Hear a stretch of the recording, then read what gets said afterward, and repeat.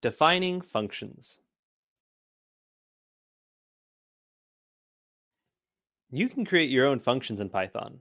In fact, this is one of the most powerful features of programming the ability to create your own functions. Let's talk about three major advantages of functions. First, they allow us to reuse code. Second, they allow us to debug a chunk of code in isolation from the rest of the program. Third, they let us break a program down into smaller pieces. We don't have to worry about how the functions work internally. To create a new function, you use the def keyword, which stands for define. You write def, the name of the function, an open parentheses, each of the parameters separated by commas, a close parentheses, a dash and a greater than, the return type of the function, and a colon. The parameters need variable names, a colon, and the parameter type. This entire line is called the header. When you call a function, you are executing the code stored in the body of the function. Everything inside the body should be indented four spaces. In the block version, this is shown visually with a bar on the left. The body must be there. In other words, it cannot be empty. Usually, you should use a verb as the name of the function. The name helps other programmers understand what the function does.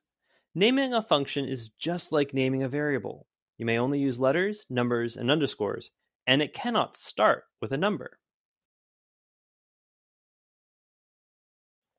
After you've defined a function, you can use it by calling the function. As we did before, we combine the name of the function with calling parentheses. Note how we still pass in arguments. Here we call the function add5 twice, first passing in the argument 10, and then calling it again with the argument 3.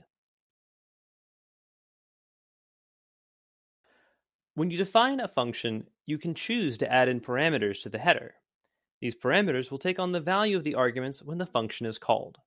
This can be very tricky to understand. Each argument exactly matches one parameter. In the code below, the parameter will first match to 3, negative 2, and negative 10. The parameter second will match to 8, 5, and 10. Remember each function call happens one after the other. In modern Python, we specify the type of each parameter. So far, we know of five types integer, string, float, bool, and none. Anytime you call that function, the arguments must match the type of the parameter.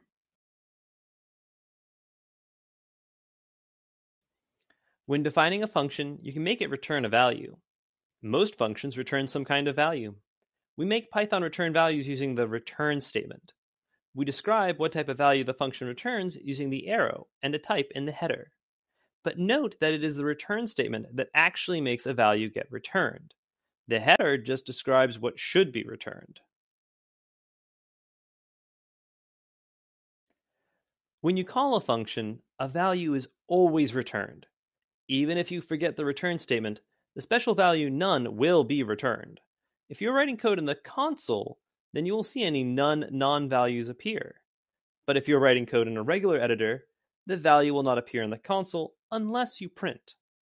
We will sometimes print the result of calling a function, but remember that printing is not necessary to call a function.